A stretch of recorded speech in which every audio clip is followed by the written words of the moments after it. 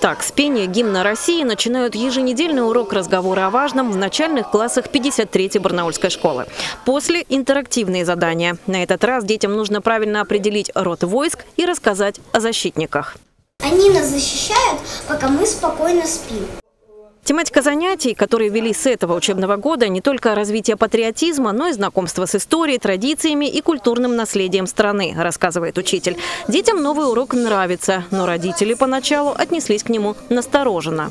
Когда ввели для детей, родители очень много задавали вопросов, а что же они там будут изучать, что это за внеурочная деятельность. И то есть сейчас есть как раз возможность для родителей тоже включиться в эту деятельность. Министерство просвещения уже одобрило разговоры для родителей. Беседовать о важном с ними, скорее всего, начнут со следующего учебного года. Правда, пока ведомство определяется с форматом и содержанием встреч. Возможно, важные разговоры будут вести во время родительских собраний или в мессенджерах онлайн. Учителя 53-й школы призывают не отказываться от них, поскольку такие занятия, по их мнению, позволят родителям быть в курсе основных тенденций в стране и не отставать от подрастающего поколения. Мы же сейчас с вами каждый день в новостях видим, как часто обманывают взрослых людей. И дети приходят из дома и говорят о том, что «а вот если бы вы нашим родителям это рассказали, вот это было бы интересно». Формат онлайн был бы очень удобен. Формат онлайн и формат где-то примерно минут 20-30. Почему? Потому что все люди работают, они заняты. И очень удобно, чтобы была платформа, на которую можно было зайти, посмотреть интересующий материал, оставить свой отзыв. А если это практическое занятие, которое нужно отработать самостоятельно или с ребенком, то точно так же, как у детей есть интерактивные задания, которые очень интересны для них. То же самое можно было сделать и для родителей.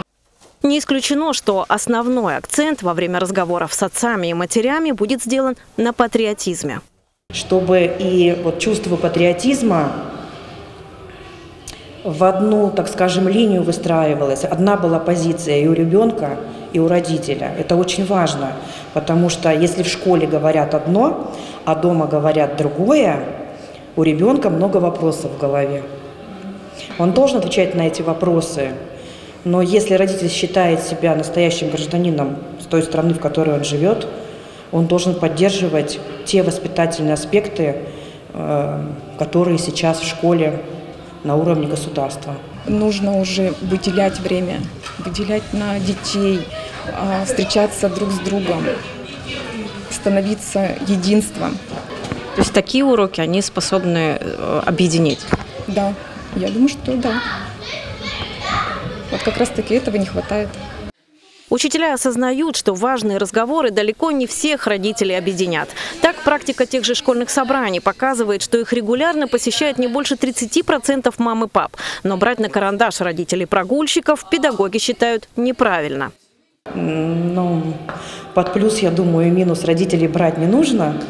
Может быть, как-то на уровне государства самых-самых активных родителей поощрять. Может быть, Всероссийская доска почета самых активных родителей в разговорах о важном. Елена Макаренко, Алексей Фризин. День с толком.